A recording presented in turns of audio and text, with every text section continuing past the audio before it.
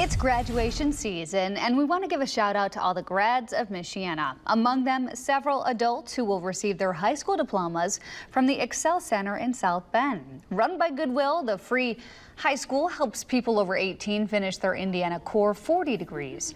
And to help the center, Martin Supermarkets is giving a $1,000 one school at a time grant.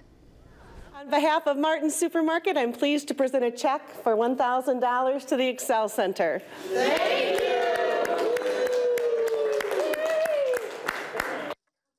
It's really great. The charter school helps out with transportation and childcare. Trisha Sloma went back to class and found some students who never gave up on getting their degrees.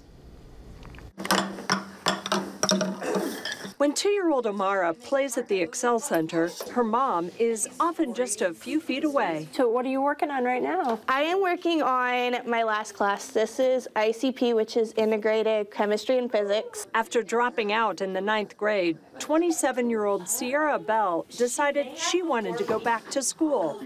This mom of two uses the Kids Excel program, the school's child care facility. I've been here since my daughter was six months and she just turned two. So it's definitely changed my life for the better. Most of our students who have children say that Kids Excel is the key for them getting their diploma. Dr. Chris Albert is the vice president of the Excel Center.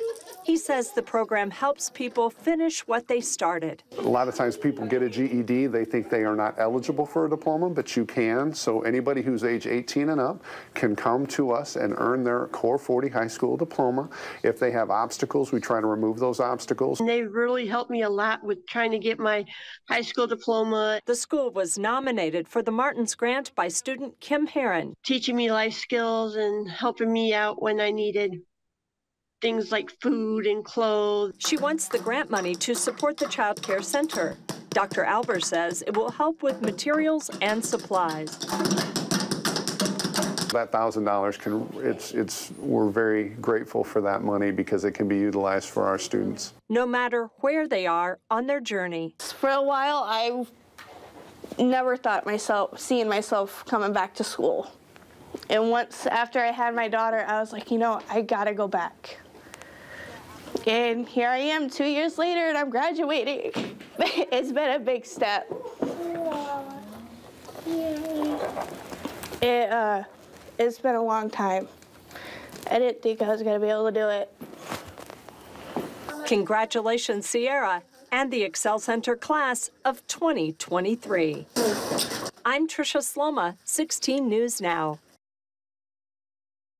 Congratulations. And if you'd like to nominate your school for Martin's One School at a Time grant, just head to our website and click on this story.